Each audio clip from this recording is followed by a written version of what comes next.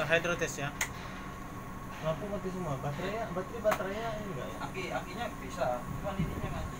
Ini kena air kan. Lama udah lama juga. Ininya mati ini bisa.